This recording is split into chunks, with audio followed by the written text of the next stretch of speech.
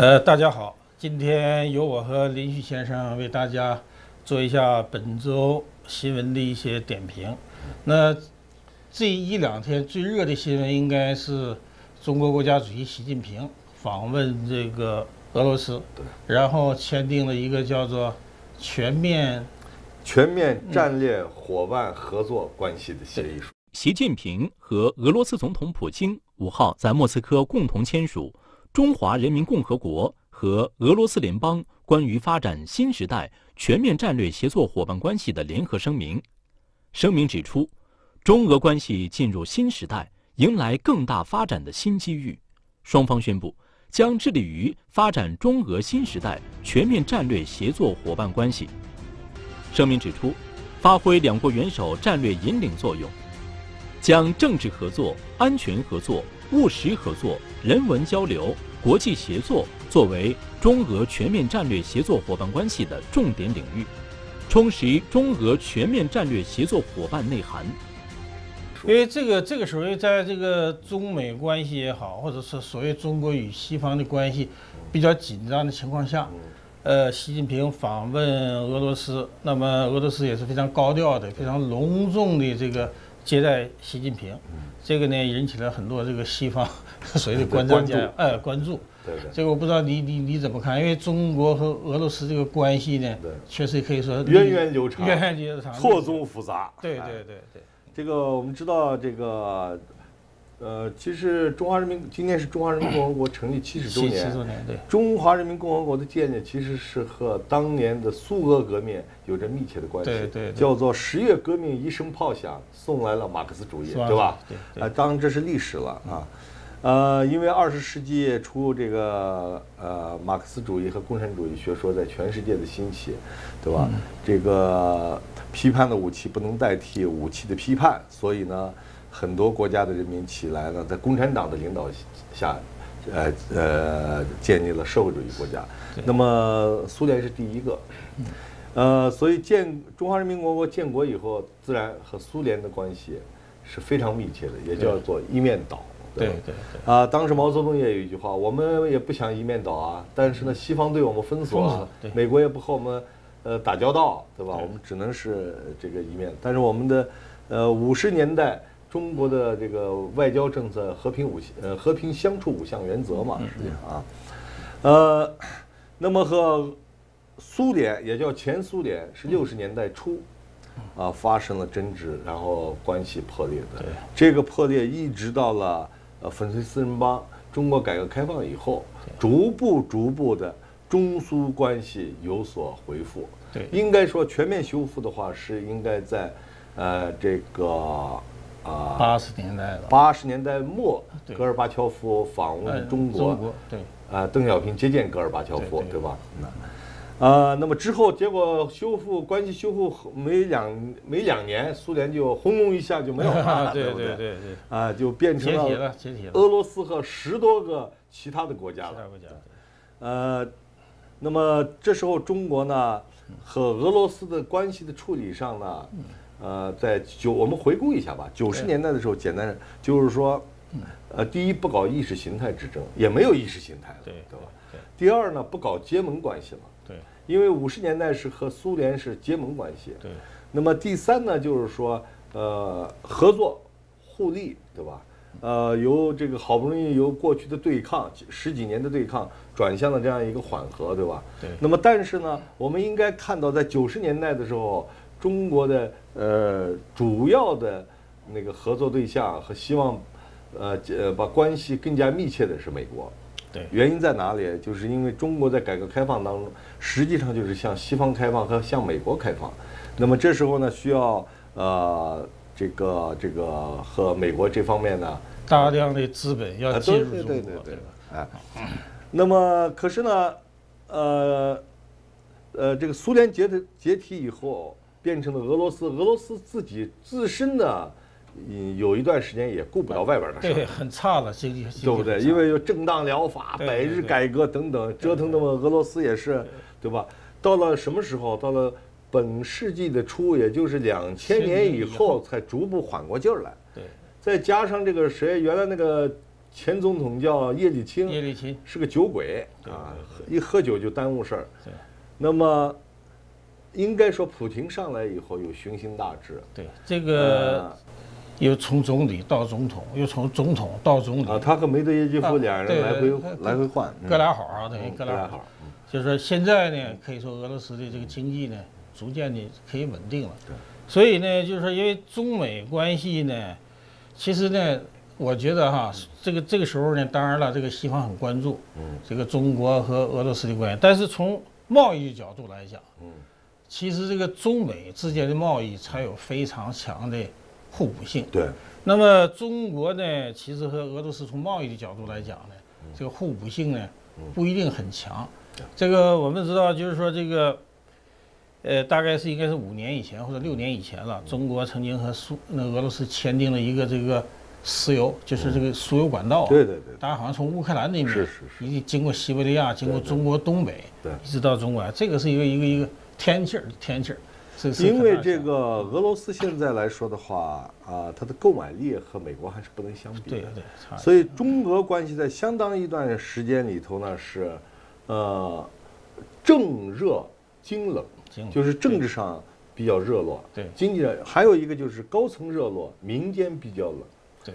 那么从贸易上来说的话，因为，呃，我们现在知道中国产品是满世界在飞嘛，对。因为俄罗斯这个国家有一个特点，呃，地广人稀，人口大概是两亿多，但是是那地盘是全球最大，最大。他对中国的这个呃需求和中国对俄罗斯的需求呢？呃，基本上是这样，就是说，它基本上需要生活品，因为俄罗斯啊，在转型过程当中，这需要很多年，因为俄罗斯过去特别注重重工业，重工业不太，呃，这个对轻工业和生活用品这方面不太注重。我曾经八十年代有个朋友从苏联留学回来，第一批留学的啊，八十年回来以后带了个相机，这快门这么高，一点不夸张。我说你这相机，他说镜头好，我说我相信镜头一定好。因为俄罗斯在这方面也是不错的，你知道吗？对。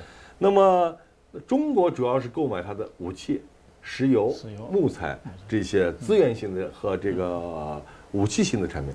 那么中俄一直没有达成一个呃结盟的关系，原因在哪里呢？因为中国和俄罗斯、苏前苏联结盟以后翻脸这段历史呢，使得中国在世界上在形成结盟关系上。特别的注意，我觉得是特别注意。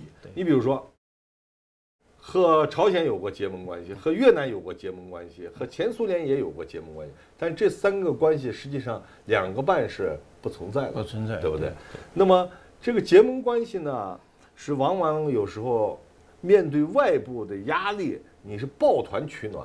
那么中国既然是改革开放，对这个怀抱是拥向全世界的，那么如果要是存在一种结盟关系的话，实际上是不利于改革开放的，就是所谓的双刃剑嘛。对，但是这一次情况发生，这一次我觉得是，我个人认为是，呃，没有，呃，表述的一种结盟关系，就是对外没有宣称。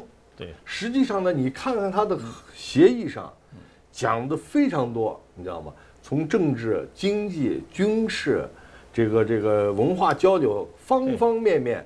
呃，这个这个呃备忘不是签署的联合声明里面都涉及到了。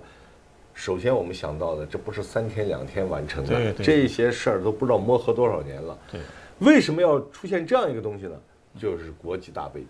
对，因为呃中俄两国的地理环境，使得你可以不抱团取暖，背靠背。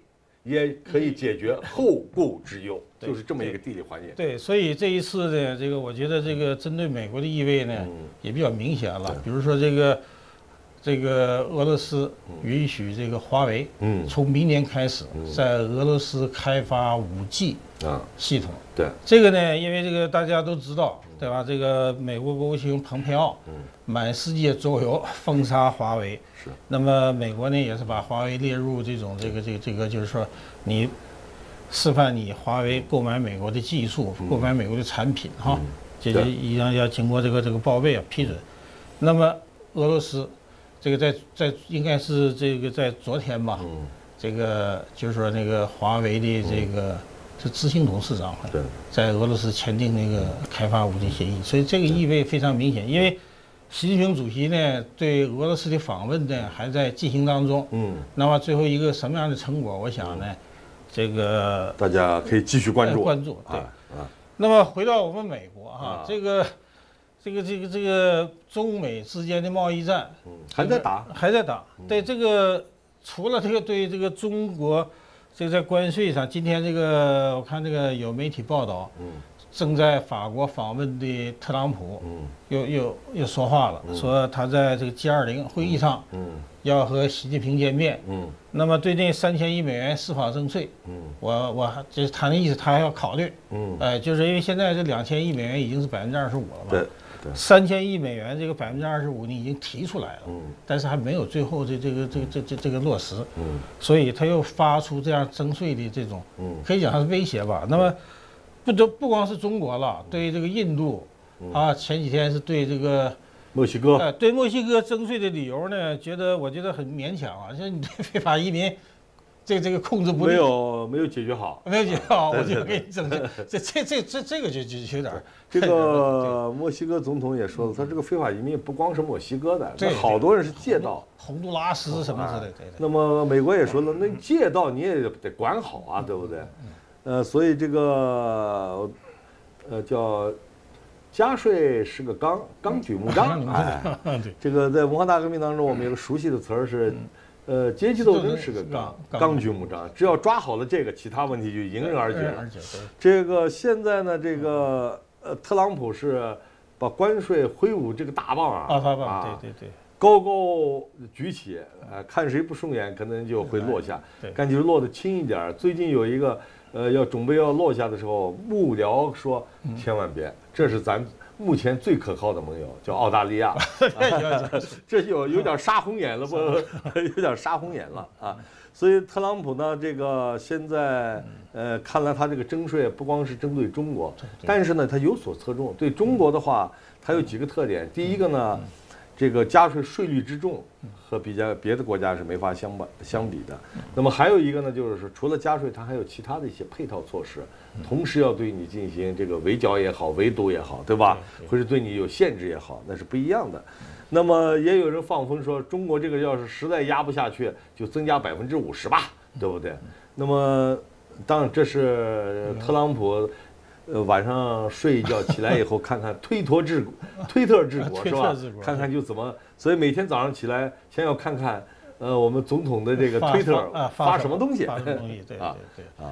那个实际上呢，这个尽管这个中美关系确实紧张，比如说中国外交部很罕见的提出，就中国公民到美国要注意安全。那其中一个理由就是说。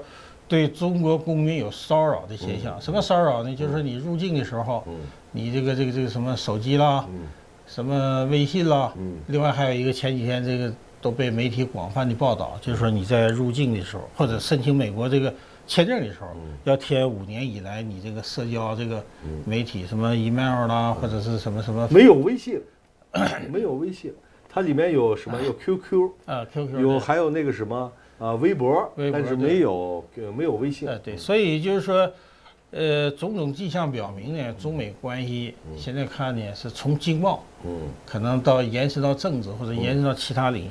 但是因为这个虽然这个特朗普政府是这样，但是对特朗普的反对声音呢其实很大。像昨天，也就是六月五号，嗯，中第四届中国和加州经贸论坛在洛杉矶这个举行在举行。嗯，那从这个因为与会的是这个加州的副州长，嗯，这个副州长呢，他这个在演讲当中呢，强烈表达，嗯，这个中国就希望加州与中国的关系呢更为紧密，要排除干扰，而且他呢参加了。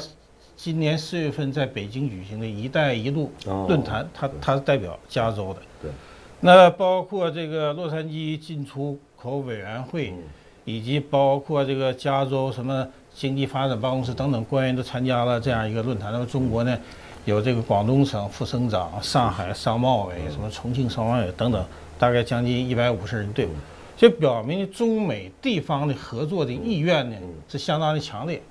那么。当然了，如果你这个这个尽管地方有意愿，但是你毕竟这个进口的关税的问题是由联邦政府来控制。对。那么所以呢，就是说这个，呃，这个与会的这些这个包括中方的代表，包括这个，呃，加州的一些这个政府官员，呃，官员都提出一些就是，看看采取一些什么样的办法，在现有的条件下，能够更这个紧密的这这这个加强交流合作。尤其是民间，哎，尤其是民间的，嗯，就所以呢，就是民间和地方，对对，所以美国呢，他这个这就是现在特朗普这个政府和这个呃，当然不光是加州了，有很多州，比如说包括这个华盛顿州，嗯，这些华盛顿州西雅图的港口，这个与中国的进出口贸易的这这样一一个量呢，应该仅排在长堤和洛杉矶港。之后还有旧金山，还有旧金山对啊，所以这些呢，其实都是和中国的这这这种这个开展贸易交流的合作呢，非常有积极性。为什么有积极性？就是说中美贸易确实让这些地方或者让两国的人民呢，获取了巨大的利益，是共赢的这个情况。这里边值得关注的一点就是，我昨天看了你们，尤其看了这个。老宋记者发的这个新闻啊，里面有一条很重要，就是中华人民共和国驻美利坚合众国的公使衔的商务参赞出席。对，就是驻啊，对。那么一般来说，驻参赞出席这样的活动，这表明呢，这个大使馆对这个事儿很关注。很关注。大使馆很关注。为什么我们这样说呢？一般因为这些活动，呃，在洛杉矶是有总领事馆的。对，总一般总领事馆要重视的话。就是说，认为这个会很重要，总领事、副总领事或者是相关的这个参赞、商务参赞都会出席。那么这次这位朱参赞特意从华盛顿飞过来，这表明了几个：第一个呢，就是说对这个会议蛮重视；第二个呢，就是中国现在对这种地方和民间的这种密切的密切关系，第一是非常重视，第二是。呃，还要继续开展，继续开展。它实际上传达这样一个信息。那么我也看了这个这次活动，呃，从加州来说的话也非常积极，因为确实加州和中国的经贸关系非常密切，非常密切，对吧？呃，这个这这说应该是互互利的，为什么呢？因为这个，呃，我们先从中国输美的产品，大概百分之至少七十吧，或者八十是进到加州的。通过加州应该是对接近七十，对，通过加州，因为你就是洛杉矶港、长堤港和旧金山港嘛，还有一部分就跑到西雅图了嘛，因为你不可能到纽约港嘛，对吧？然后来了以后再转运，所以呢，这个就造成了带来了什么就业机会，带来了税收，啊，呃，带来了很多东西。那么我们在嗯中国旅行的时候，也经常会看到加州的水果，对吧？加州的干果。在超市里都有卖的，销量还很大，经常是朋友们赠送访亲探友啊赠送的礼品，啊，质量也蛮不错的，所以还有加州的红酒。那么就从这些方面来看的话，加州和中国的这个关系啊，双方还是很重视，也很珍惜的。通过这次会，就希望还继续。但是中国的方面呢，有一个好处，它在哪里？它从上到下态度是一致，一条心的。对，美国呢，现在呢，我们。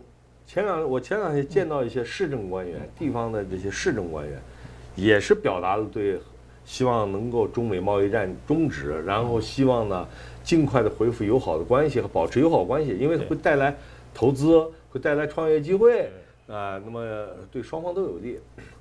但是呢，因为美国这个上下级关系，它有时候是两张皮，两对对，联邦说联邦的，州州政府说州政府的，但是呢，州政府有一些关于。货物进来以后，第一道收税，这是联邦的事情。联邦对。那么加州没有办法，对不对？啊，加州也没有办法说是取消联邦税，它只能是呼吁，对不对？尽快的。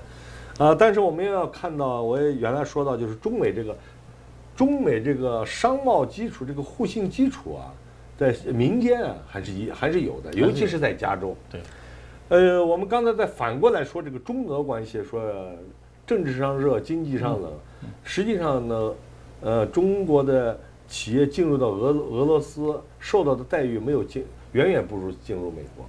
尽管美国现在对中国有限制，因为俄罗斯这个这个商商业环境比较差，你知道吗？经常就是警察给你把这地方查封了，不打预警，对吧？